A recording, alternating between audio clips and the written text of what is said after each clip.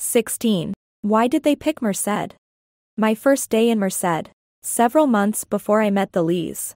I drove around and around in my rented car, looking for Hmong, and didn't see a single one. My friend Bill Selvidge had told me one out of every six Merced residents was Hmong, and it was on the strength of that prodigious statistic that I had come. I thought he must have made a mistake. The people who strolled their babies along the sycamore-lined avenues. North of Bear Creek and gunned their pickups down the quaintly superannuated Main Street. I didn't know yet that most of the fancy business had shifted to the Merced Mall uptown. All looked as homegrown as characters from American Graffiti, which was set in Modesto, the next big town up Highway 99. When I stopped in the R Street Exxon for gas, I asked Frank, the man who Windexed my windshield, whether he knew where the Hmong lived. That part of town. Across the tracks is just crawling with them, Frank said. It's so crowded with Hmongs you can't hardly move. I sure know we got a lot of them. What I don't know is why they're here. I mean, why did they pick Merced? He then volunteered an anecdote about some Hmong who had been caught fishing in a county lake without licenses. When the police came, they got down on their knees. They thought they were going to be executed. He threw back his head and laughed. Martin Kilgore told me later that dumb Hmong stories were a lamentable staple of Merced's agricultural community, some of whose members had hundred-year-old roots in the Central Valley. In Fresno, the Aggies make ethnic jokes about the Armenians. He said, in Stanislaus. It's the Portuguese. Here, it's the Hmong. There was the Hmong mother who heard a policeman say, If your child misbehaves, you can always chain him to the TV, and took it literally. There were the Hmong farmers who fertilized their crops with human excrement. There were the Hmong tenants who punched holes in their walls to communicate with their relatives next door. There was the large Hmong family who lived in a one-bedroom, second-floor apartment, the American couple who lived below them complained that their roof was leaking. When the landlord checked, he found the Hmong had all moved into the bedroom, covered the floor of the living room with a foot of dirt, planted vegetables, and watered them. Who knew whether these stories were true? In the climate that had fostered Frank's genial bigotry, did it matter? As a Hmong proverb puts it, all kinds of vessels can be plugged, but you can't plug people's mouths. Over the last century and a half, the Central Valley had involuntarily swallowed wave after wave of foreign-born settlers. Mexicans, Chinese, Chileans, Irish, Dutch, Basques, Armenians, Portuguese, Swedes, Italians, Greeks, Japanese, Filipinos, Yemenites, East Indians. Each had occasioned its own individually tailored flurry of xenophobia, of which the dumb Hmong stories were merely the most recent model. In the 1880s, the Anti-Chinese Association of Merced had served a similar defensive purpose, provoked by the Cantonese who had come to pan gold along the Merced River and lay tracks for the Central Pacific Railroad, and stayed to work in the brick factory near Bear Creek and run Fantan parlors along 14th Street. So had the Merced County Anti-Japanese Association, which had tried to expel Japanese farmers in the 1920s. So had Merced's 200 to 1 vote just before the end of World War II, against permitting Japanese Americans interned in relocation camps to return to their old homes. I followed Frank's directions and crossed the tracks of the Southern Pacific Railroad, a freight line that parallels 16th Street in South Merced, which used to be Chinatown before it was razed in 1950 to make room for Highway 99. He was right, on the wrong side of the tracks. Everyone was Hmong, the first Hmong I had ever seen, in front of the dingy two-story apartment buildings, coveys of children were chasing each other. Kicking balls, they had learned soccer at Ban Vinai, and playing TXWV, a form of jacks. In which pebbles are tossed and caught. The parking lots harbored more potted herbs than cars. And there were two community gardens, as dense and green as vest pocket rainforests, striped with rows of bok choy, bitter melon, and lemongrass. In a local grocery, Suaher and his wife, Yia Mua, sold 50-pound bags of rice, quail eggs, shredded squid, audio cassettes by local Hmong bands, sequins for decorating paj ntaub, mentholated tape for treating headaches, sticky ointments for treating bruises, camphor balm for drawing out fevers, and aromatic wood chips for making a tea that, as Yia Mua explained to me, flush out the bad dead blood after lady have baby. I had no idea at the time, but I had landed in the most intensely Hmong place in the United States. Fresno and Minneapolis St. Paul have larger Hmong populations, but Merced's Hmong constitute a far greater fraction of the local population. When I first visited Merced, the fraction, just as Bill Selvidge had promised, was one-sixth. Now it is one-fifth. That critical mass. As Blaya Yao Mua put it, lets us keep more Hmong culture here than in Vientiane. Sometimes I felt that the other cities of the Central Valley, Fresno, Visalia, Porterville, Modesto, Stockton, Sacramento, Marysville, Yuba City, were mere suburbs of Merced. Hmong families constantly drove from city to city to visit relatives. And if they moved elsewhere in the valley, they returned to Merced for subclan gatherings, just as residents of satellite settlements in Laos had returned to their home villages. With 14 Hmong clans, Chang, Fong, Hang, Her, Kong, Kue, Lee, Lor, Mua, Tao, Vang, Vu, Xiong, and Yang represented in Merced. Young people had no problem finding exogamous marriage partners. It was easy, even on short notice, to find its txiv neeb to negotiate with. A pathogenic dab. An herbalist to concoct a healing tisane. A clan elder to mediate a dispute. Or a qeej player to guide a dead person's soul back through the twelve heavens with his hauntingly resonant cluster of six steamed bamboo tubes.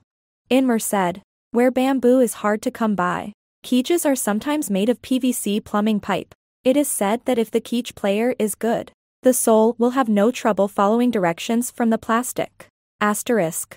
The Anthropologist Eric Crystal once told a reporter for the Merced Sun Star how extraordinary it was to hear the Hmong language, spoken in the Kmart on J Street, when 15 years earlier it had been impossible to hear it anywhere in the Western world. Crystal is a former free speech activist who overflows with so many ideas and enthusiasms that he effervesces rather than converses. He has studied Merced's Hmong community, and he once curated a local exhibit of Hmong folk objects, bamboo vegetable baskets, opium harvesting knives, shamanic regalia. When I went to see Crystal in his office at U.C. Berkeley and told him I was living in Merced, he became so excited he started bouncing up and down in his chair. You're so lucky, he exclaimed. If I lived down in that place, I'd be running around with the Hmong every minute. I mean, I just love Merced. Not that the Hmong aren't a hassle. They are. A huge hassle. When I first went down there, they were kind of hostile. You know. What the hell do you want? Who the hell do you think you are? Fuck off. The Mien are so delighted when anybody pays attention to them that they practically ask you to move in with them about two minutes. After you sit down, the Cambodians are really happy if you show that you are interested in Cambodia. But the Hmong, they just test you every minute. Once you pass the test. Though, they are fantastic. The Hmong are one of the best organized. Most focus groups you could find any place on earth. They have the best leadership. They're the most able to cooperate among themselves. They're the most committed to preserving their ethnic identity. They're the most conscious of their own place in the world. You can see all that down in Merced. Those Hmong are really into being Hmong. The longer I spent in Merced, the more. Often I found myself asking, how in heaven's name could this have happened here? How could more than 10, 000 villagers from the mountains of Laos possibly be living in a place that hosted the Yosemite Dental Society, Smile Contest and the Romp Hen Stompers Square Dance. That sent out welcome newcomer kits, which no Hmong had ever requested, containing flyers for the Sweet Adeline Singers and the Senior Citizens Whittling Workshop, and that awarded ribbons. At its annual county fair for Best Infant Booties, Best Lemon Pie, and Best Udder. In other words, as Frank had asked, why did they pick Merced? The answer to that question, as I gradually found out, boiled down to two words. Dang Mua. It is probably a good thing that Frank does not know Dang, the indefatigable grocer, interpreter, and pig farmer who had once been a clerk typist at the American Embassy in Vientiane. If Frank were to learn that.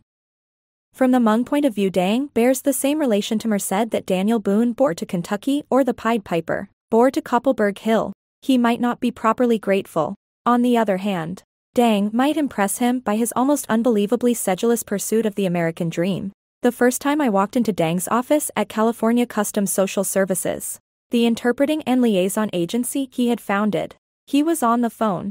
He was talking rapidly in Hmong, but every once in a while, when he collided with a concept for which there was no Hmong equivalent. He threw in an English term. Lack of communication, deposition, application, bank manager, conflict of interest. Dang was round-faced and sturdy, with a CEO's air of authoritative self-possession. He wore a large Casio watch that beeped and a large gold ring that said D. His business card was red, white, and blue. Commercial patriotism evidently ran in the family. His cousin, Mua Ki, whose office adjoined Dang's, supported his family largely by teaching Hmong about Christopher Columbus, Betsy Ross, and the advantages of the bicameral system in preparation for their naturalization examinations. Although he raised sacrificial pigs, Dang was selective in his spiritual dogmas. And for reasons of expedience he had excluded dabs. I call myself a multi-religious believer, he explained. I don't believe in ghost because I like to be the boss of the ghost. And if you are afraid of ghost, the ghost is your boss. It was clear that no one would ever be Dang's boss but Dang. Dang Mua and his family used to live in Richmond, Virginia, where they were the only Hmong. The first time they saw snow there, soon after they arrived from Thailand in early 1976, Dang thought someone had come while they were asleep and sprayed all the trees with salt.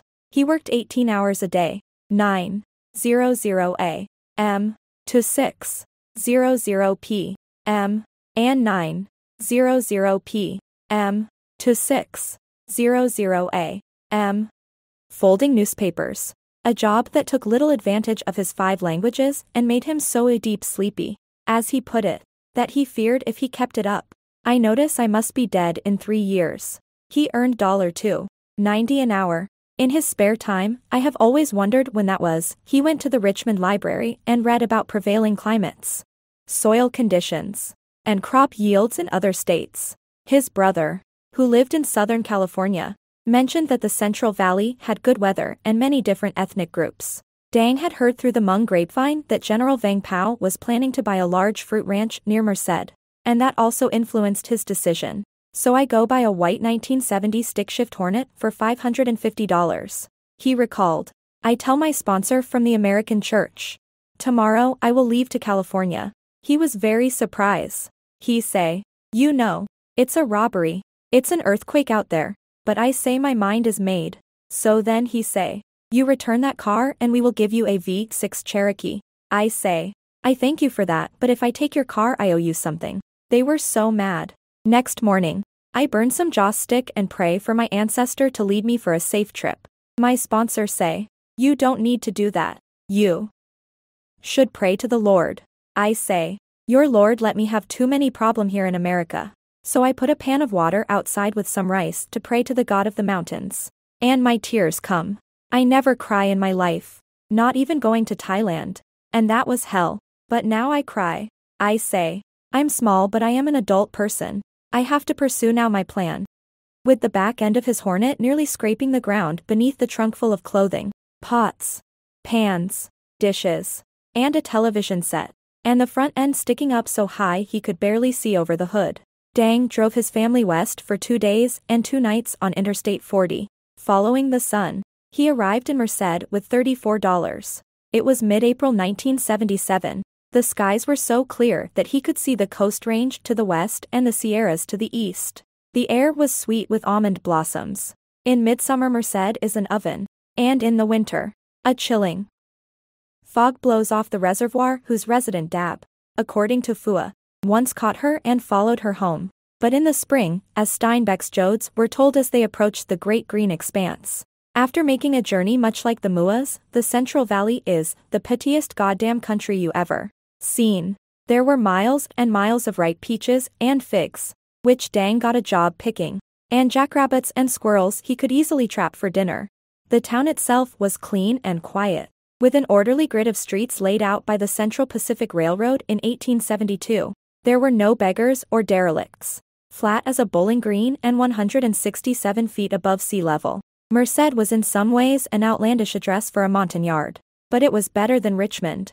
And it was incalculably better than the slums of Hartford and Detroit, where some of Dang's clanspeople lived. Most people drive through Merced en route from one place to another, Sacramento to Bakersfield, San Francisco to Yosemite, but to Dang, Worn beyond weariness by the journey from Laos to Thailand to Virginia to California, it was the long-desired terminus. Vang Pao's plan to buy the fruit ranch failed, partly because the county board of supervisors had public misgivings about the refugees it might attract and partly because the general had an inauspicious dream the night before he was to sign the contract. Nonetheless, the favorable buzz about Merced and the rest of the Central Valley had already spread to discontented Hmong communities across the United States.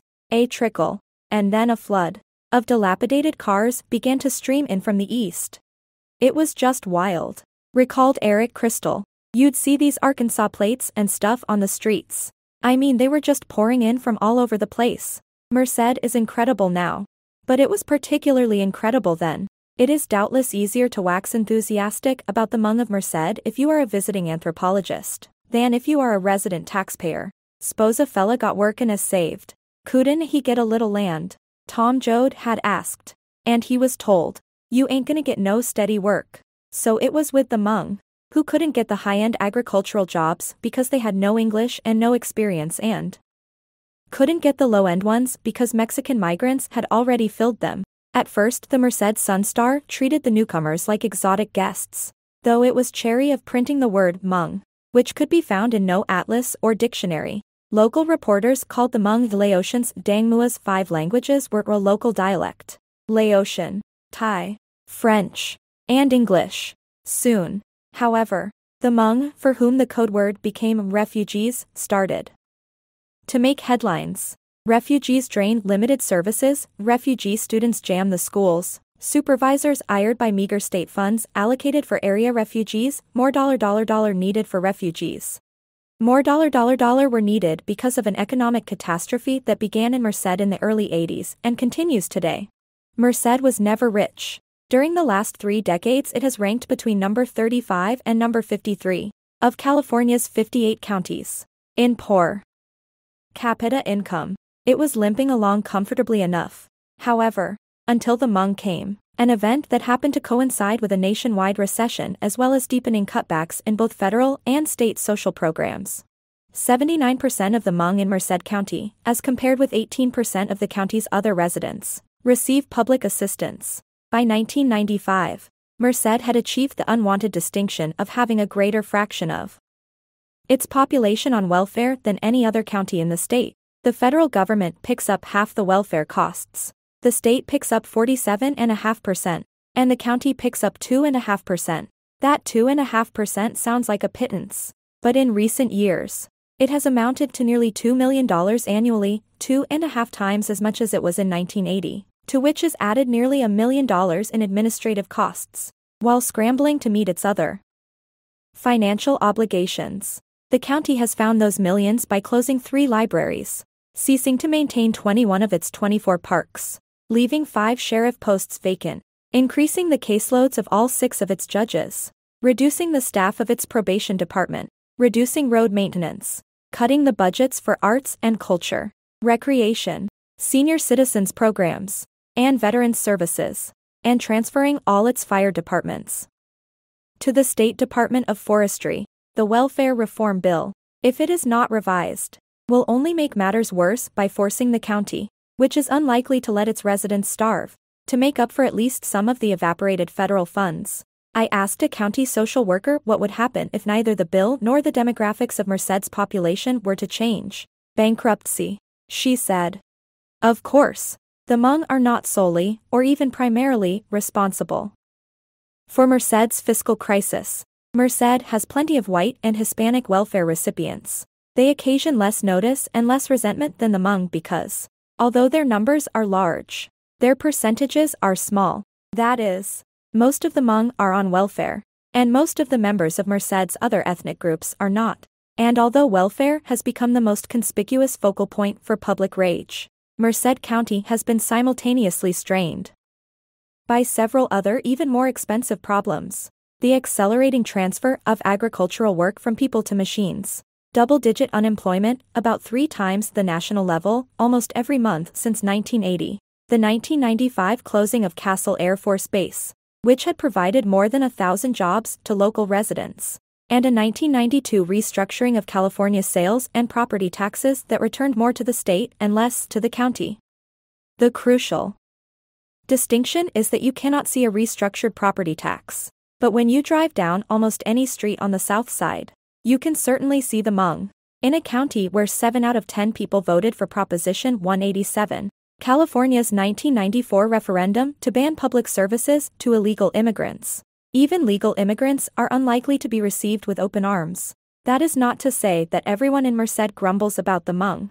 The local churches have always treated them generously, and a small but fervent core of well-educated professionals, most of them liberal transplants from other cities, concur with Jeff McMahon, a young reporter at the Sun Star who told me, the one thing that makes Merced different from every other dusty little town in the Central Valley is that there are so many Southeast Asians here their culture is a blessing to this community. How else would Merced ever earn a place in history?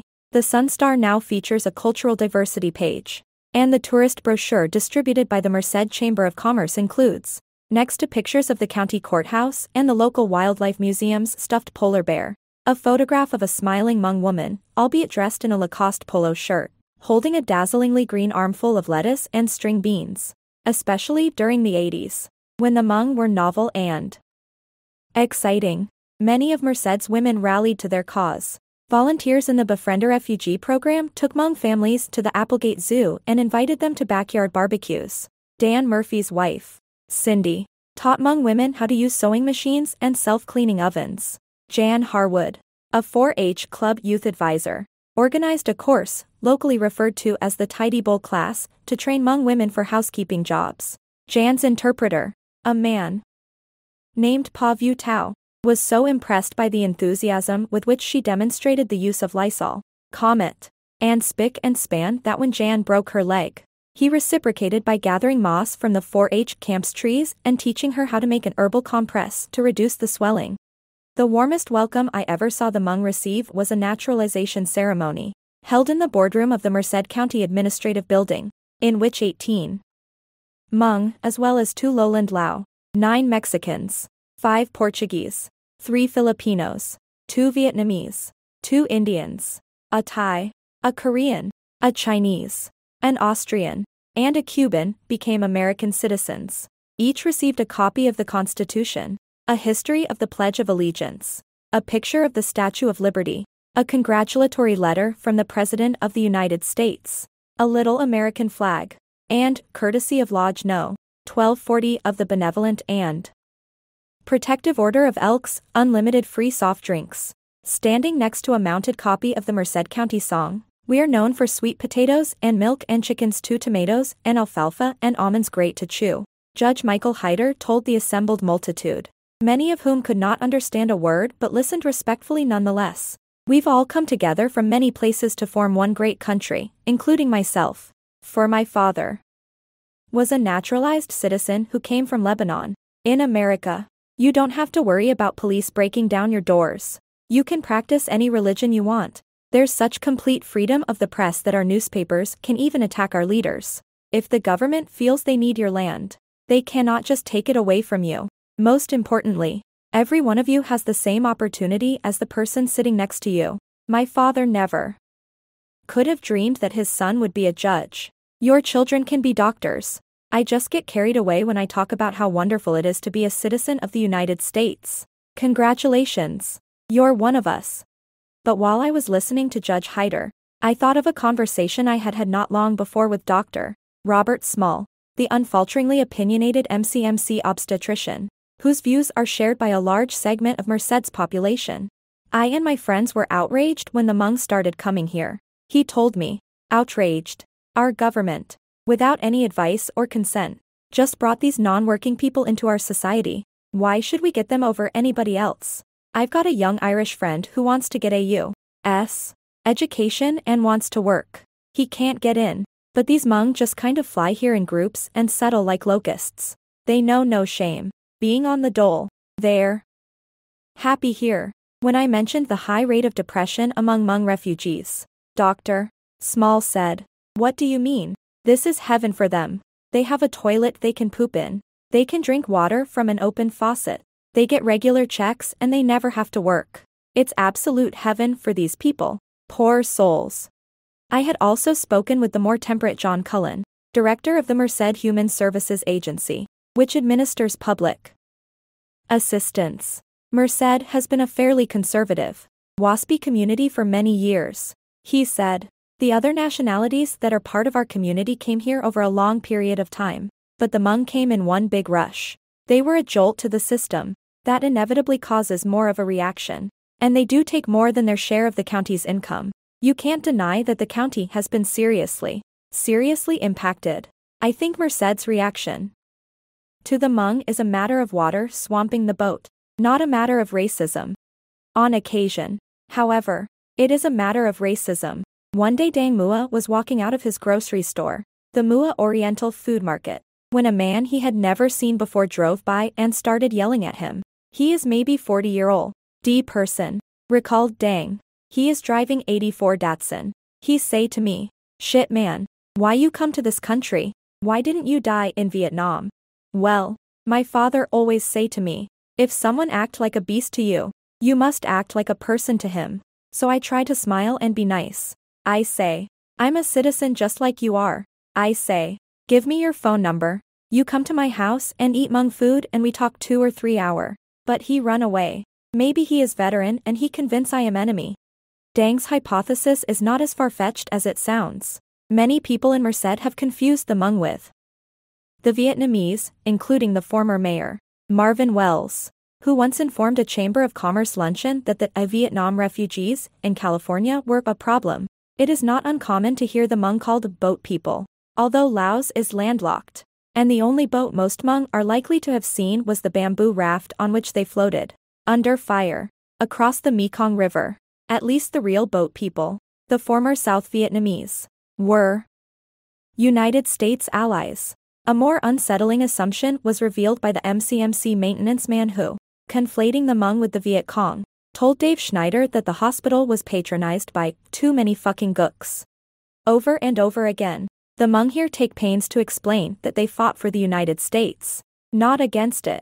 Dang Mua is a one-man public relations outfit, constantly hauling out an old National Geographic with a picture of his uncle in a military uniform, or popping a videotape about the Armée Clandestine into his VCR. One man from a nearby Central Valley town made sure that even after his death there could be no mistake about his past. His tombstone in the Toll House Cemetery northeast of Fresno, where dozens of Hmong, reminded of Laos by the hilly topography, chose to be buried until local residents started complaining about their loud funerals, reads beloved father and grandfather, Chua Cha Sicha.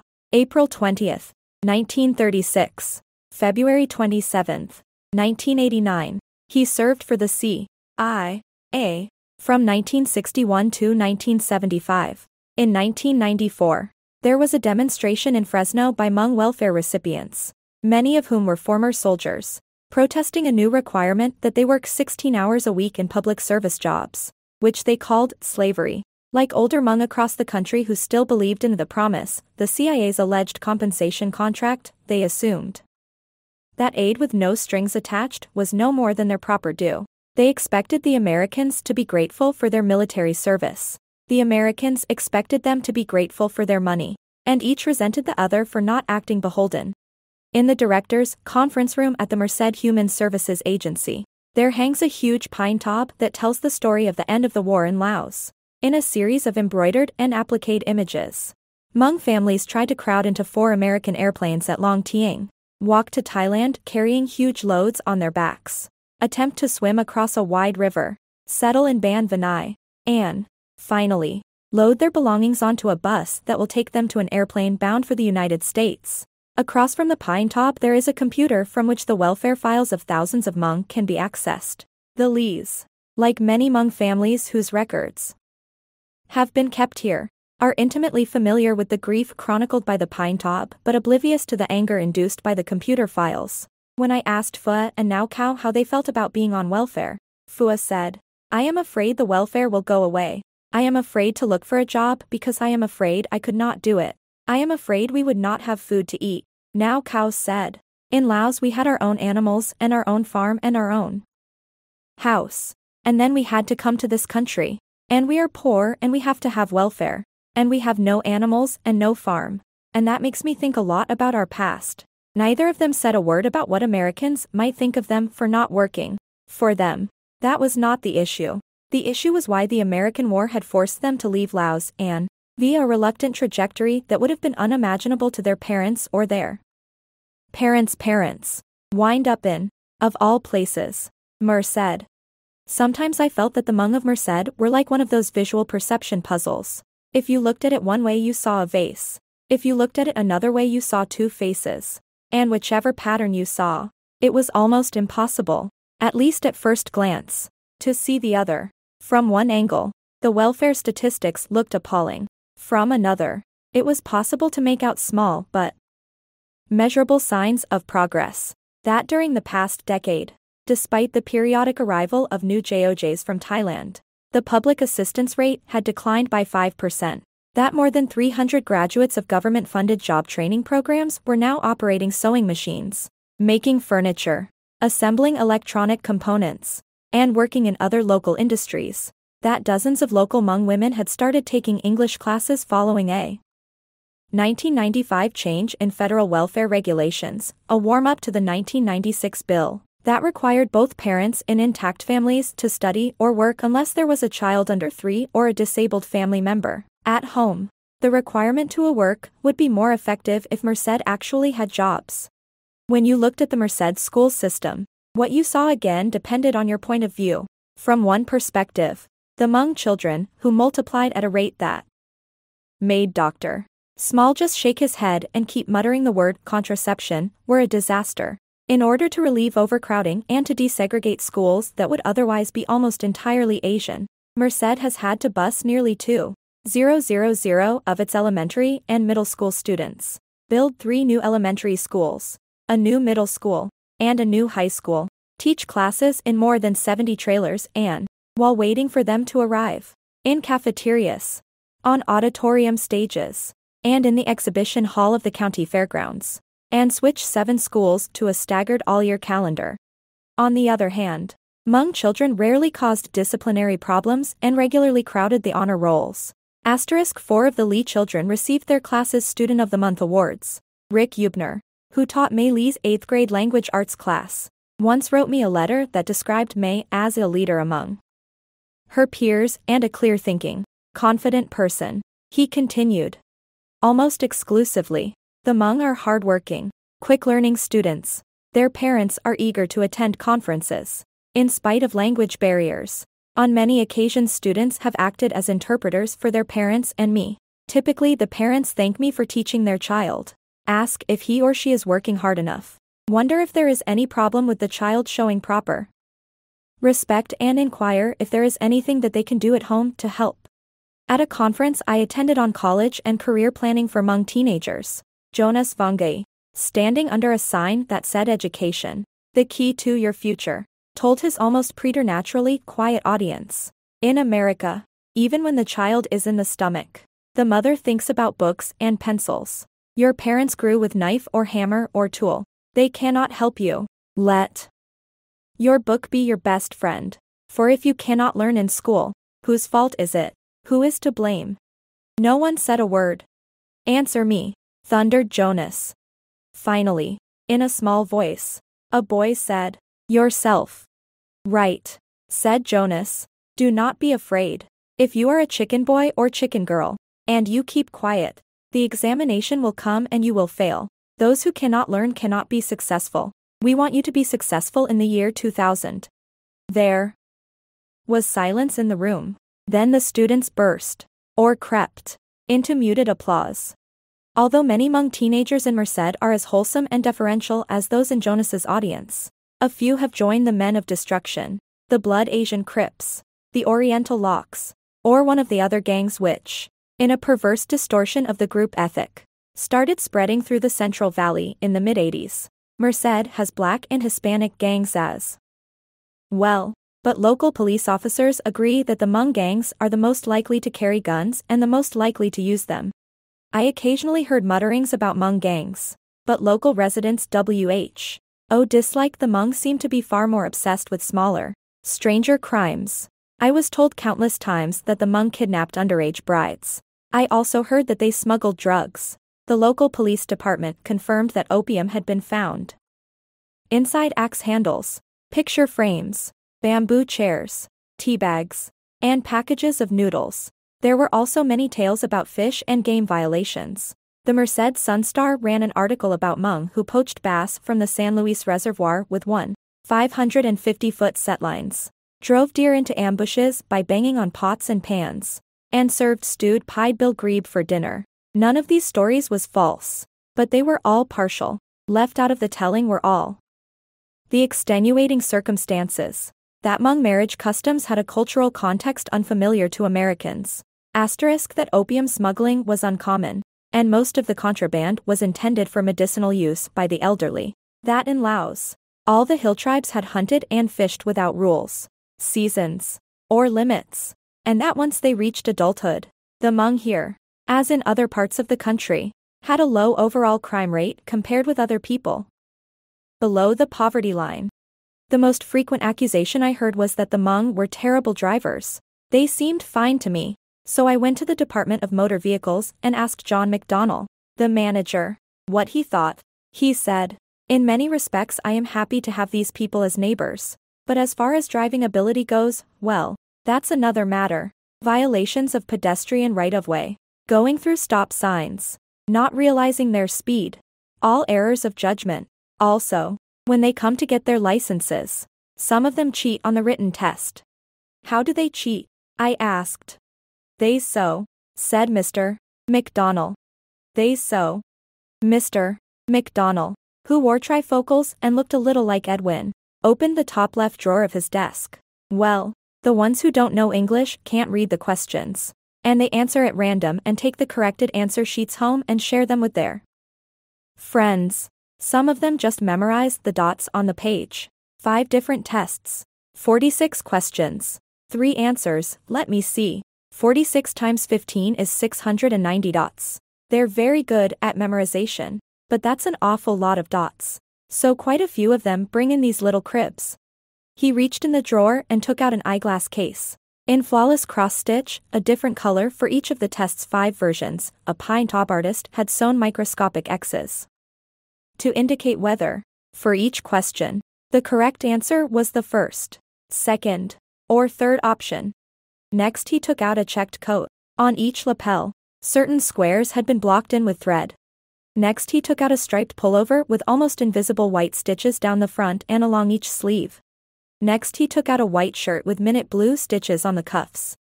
Real neat work, isn't it? He said admiringly. I concurred. Then I asked, What do you do when you catch someone using one of these? He fails the test, and we confiscate the crib. It occurred to me that an awful lot of Hmong must exit from the Department of Motor Vehicles wearing fewer clothes than when they walked in. Late that night, I lay on the floor in Bill Selvidge's study, where I was staying. Next to my sleeping bag I had taped photographs of Hmong. Hmong children from the National Geographic wearing paj ntaub. Hmong teenagers from the Merced Sunstar wearing jeans. The Lee family wearing slightly off-kilter American clothes. In pictures I had taken myself. I found them all very beautiful, and I often stared at them for hours when I couldn't sleep. That night, for some reason, the phrase, differently abled, a substitute for disabled that had enjoyed a brief vogue among progressive journalists, kept buzzing around my head. I had always disliked the term, which struck me as euphemistic and patronizing. Suddenly, I realized why it was keeping me awake. I had been trying all day to decide whether I thought the Hmong were ethical or unethical. And now I saw it.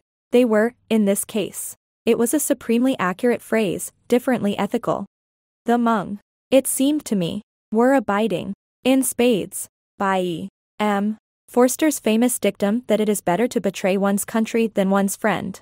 Since they had never had a nation of their own, and had been persecuted by every nation they had inhabited they could hardly be expected to harbor an extravagant respect for national jurisprudence.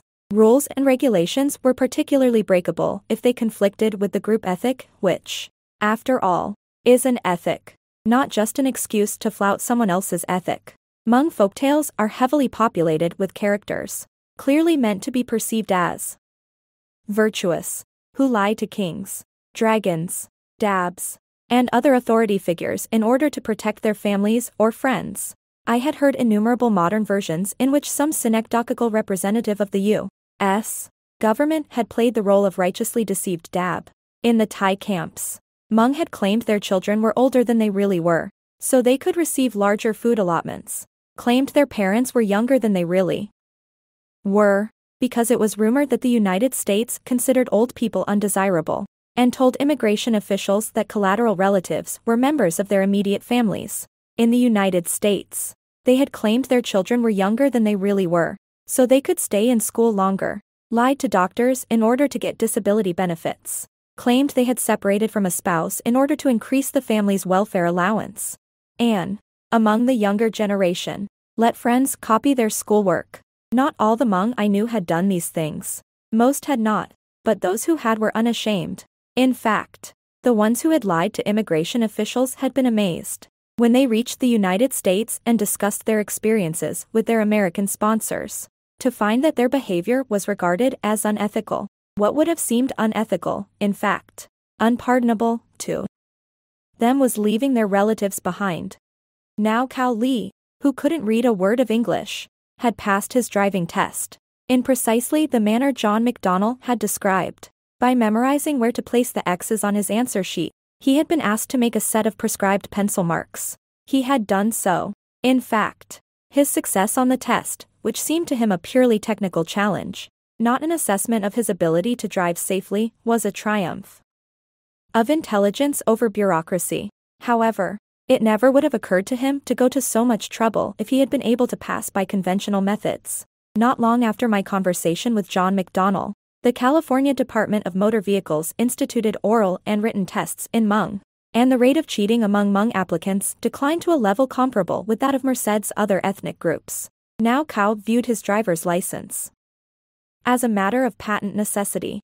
How else was he to visit his relatives? The family came first, then the clan, then the Hmong people, and everything and everybody else ranked so far below those three that it would have been blasphemy to mention them in the same breath. I believe that Nao Kao, like most Hmong, would rather die than deceive a member of his family or clan. The group ethic enabled Nao Kao not only to pass his driving test, but to make unequivocal decisions in every sphere of his life, to assess people's characters with confidence, and to operate almost entirely within the supportive Hmong community rather than within the larger and harsher world of America. On a larger scale, the exigent pull of ethnic solidarity was what made the Hmong so open-handed, so good at teamwork, and so warm. But it seemed to me that, especially for the community's educated leaders, the obligation to put the group before the self also had some negative consequences stress, loss of privacy, a punishing sense of responsibility. Nao Kao's age and his lack of English insulated him from the conflicts and ambiguities of having one foot in one culture and one in another. His life, if not joyous, was at least clear. This was not the case with the Hmong who shared high status in both the Hmong and the American communities. Dang Mua was an exception. He had so much forward momentum that stresses and doubts simply flowed off him, like water from a torpedo. Also, although Dang spent many hours doing what nearly all literate, English-speaking Hmong of his generation did, deciphering other people's junk mail, filling out their tax forms, telephoning agencies, translating notes from school, he charged for these tasks. Most Hmong did them for free. I heard about one multilingual woman, once a nursing administrator, in Xiangkhouang province, who had worked as a Hmong liaison after settling in Minnesota. She became so exhausted by the incessant demands of the Twin Cities Hmong community, both during and after work hours, that she moved to Merced without telling her clan and got a job that allowed her to deal only with Americans. Don't call her. I was told. She's trying to lie low. Family loyalty, the group ethic concentrated to an even more potent form, also had its downside. Pa Vu Tao, the interpreter who had made an herbal compress to heal Jan Harwood's broken leg, told me he had once been offered a lucrative job at U.C. Davis. He had turned it down, with regret but without hesitation, after his father, angry that Pa Vu would even consider leaving his relatives in Merced, asked him, Does money mean more or does the family mean more? In the early 70s, out of the more than 300, 000 Hmong in Laos, there were only 34, all men, who were studying at universities overseas. Two of them had resettled in Merced. Blaya Yao Mua and Jonas Vangay. Both had won scholarships to the Lycée National, Vientiane's most elite secondary school, and had obtained bachelor's and master's degrees from French universities. Jonas left a job as a computer analyst in a Paris suburb to immigrate to the United States in 1983, just after the largest wave of Hmong refugees, most of them illiterate farmers like the Lees, had been admitted. Blaya came the same year, leaving an executive position at an international packaging company. I move here to help because it was my moral responsibility. He told me, if my generation stay in France, we would feel guilty. Blaya and Jonas were more intellectually cosmopolitan not only than every Hmong they knew, but also than every American they knew, including myself. Their leadership roles in Merced had earned both of them respect, but little money, and, as far as I could see, little peace of mind. I knew Blaya Yao Mua best. There was a period of a few months when I spent almost every afternoon sitting in his office. A windowless cubicle with fake wood paneling. Asking questions about Hmong religion, military history, medical practices, kinship patterns, weddings, funerals, music, clothing, architecture, and gastronomy. It was from Blaya that I learned. For example, that if I wronged another person, I might be reborn in my next life as my victim's buffalo and used for farm work.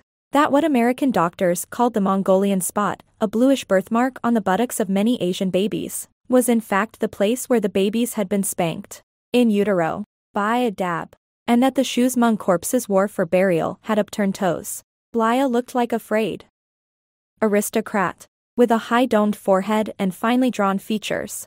Although he was almost exactly my age, in his mid 30s when we first met, I always felt like a child in his presence. Partly because I sat in a chair with a tiny desk attached, the way I had in sixth grade, and partly because he knew so much more than I did and was so patient with my ignorance. I remember countless occasions, after I had asked him to provide a rational explanation for a non rational custom, when he just shook his head gently and said, Anne, may I explain to you again?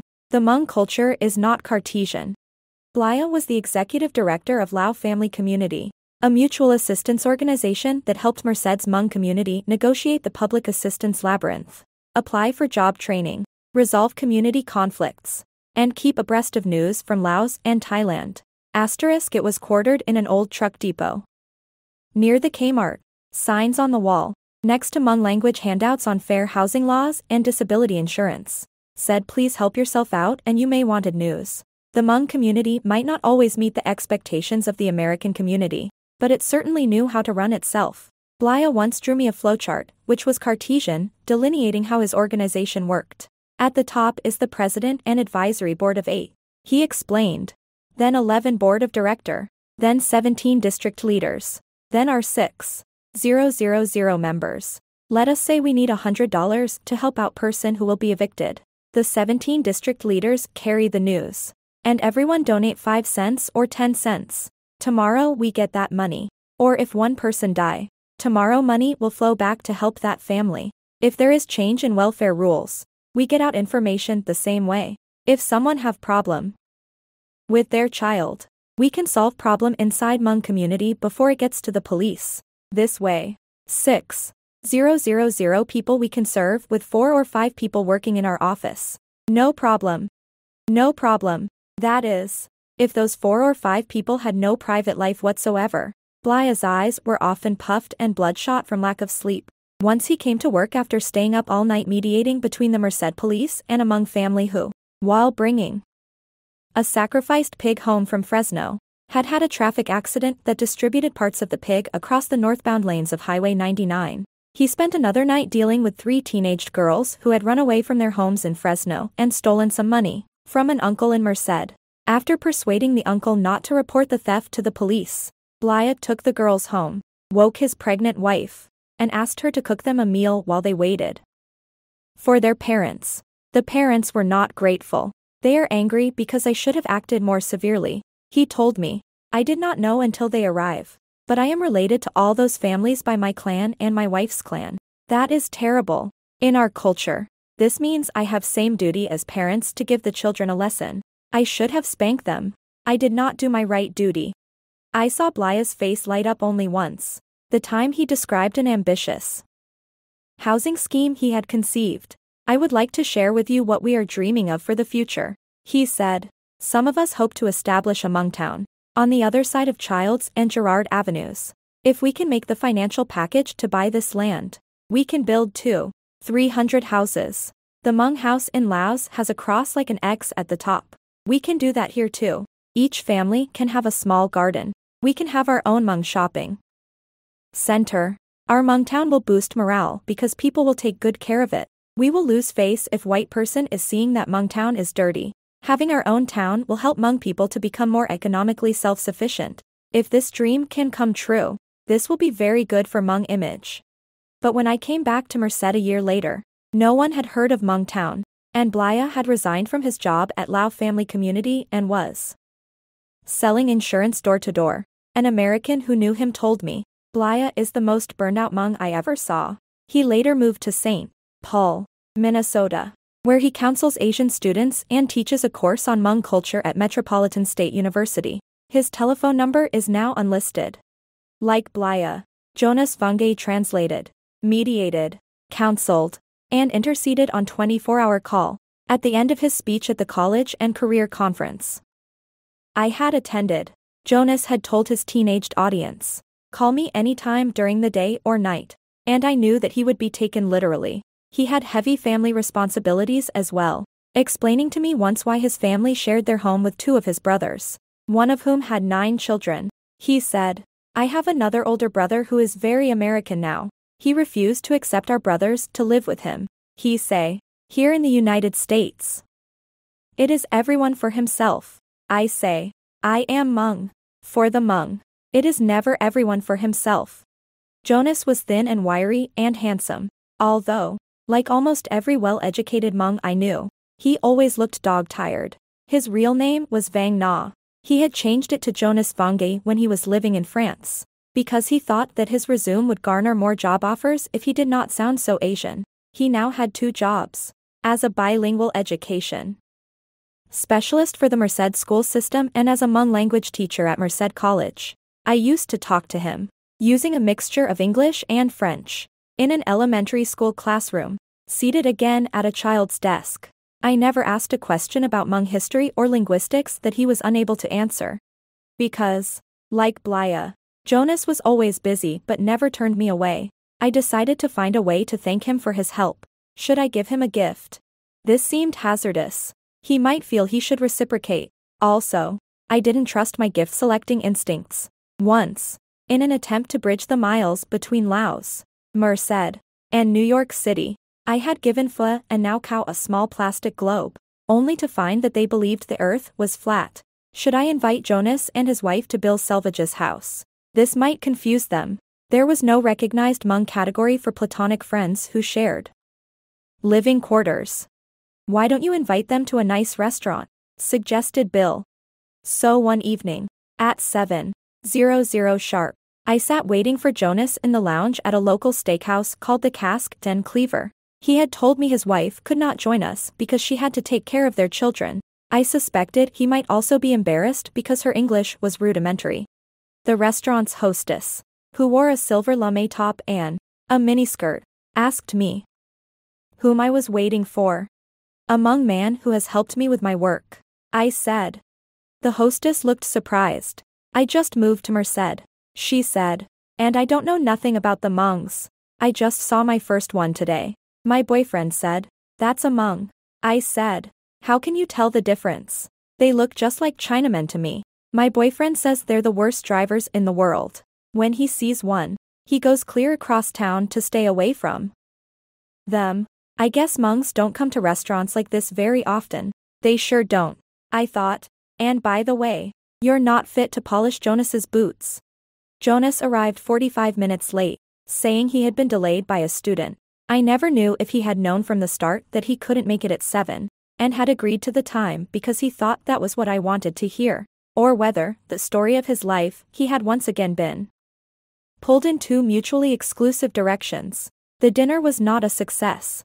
Despite his five languages, Jonas had difficulty understanding the waitress, a teenager who spoke rapid Valley girl, and had to ask me several times what she was saying, out of politeness, certainly not from lack of sophistication. Since he had eaten at plenty of Parisian restaurants that would make the Cask 'n Cleaver look like McDonald's, he ordered the cheapest entree on the menu. Our conversation was formal and halting. Jonas was obviously relieved when we left. Afterwards, we stood in the parking lot, talking in the dark. You know, Anne, he said quietly, when I am with a Hmong or a French or an American person, I am always the one who laughs last at a joke. I am the chameleon animal. You can place me any place, and I will survive, but I will not belong. I must tell you that I do not really belong anywhere. Then, Jonas drove home to his wife, his three children, his brothers, his brothers' wives, his brothers' ten children, and his ringing telephone,